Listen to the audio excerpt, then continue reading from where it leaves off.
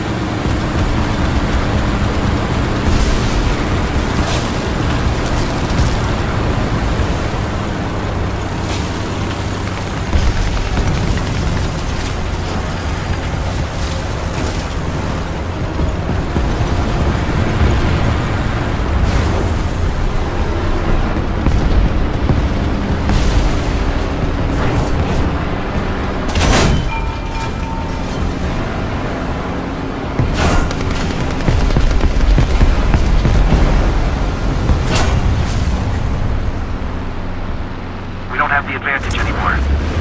Attack the B-point!